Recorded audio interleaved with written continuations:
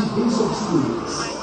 Ambulâncias e extintores estão disponibilizados em todas as áreas do estado e profissionais treinados estão à disposição para atender as necessidades. Preste atenção no o Covid esgoto da melhor.